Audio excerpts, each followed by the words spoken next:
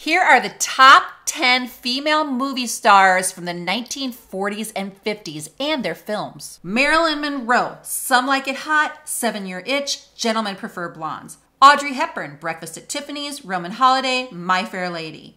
Elizabeth Taylor, Cleopatra, Cat on a Hot Tin Roof, and Who's Afraid of Virginia Woolf. Grace Kelly, Rear Window, To Catch a Thief, High Society. Judy Garland, The Wizard of Oz, A Star is Born, Meet Me in St. Louis. Rita Hayworth, Gilda, CoverGirl, and The Lady from Shanghai.